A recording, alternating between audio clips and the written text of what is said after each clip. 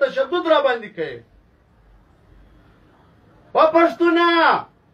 په خدای ته وګورې او قرآن ته وګورې کله نه پورته کېږې تر څو پورې به دا ظالمان دا جابران د دې کار د دې قبیل د دې وسال بچان ټکور ټکور کوي وایي به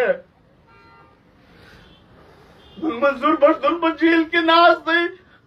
د دې کار د پاره ناز دي د دې کبل د دې وطن د پاره ناز دي د څو پر بمر خپل لري پر لږ کوو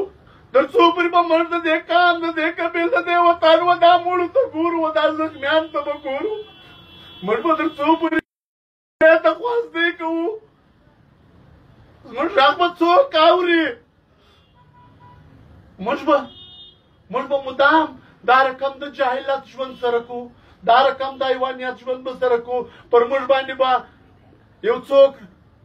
دا وایي چې یوه پلا خو مې حلال کاس اوس بیا ترې سره شورې بیا والا لیدو ته تیار یاست بیا ولا لیدو ته تیار یاست الله له نو کولو ګرد کام نور ته قتل ګرد قبیل نور ته قتل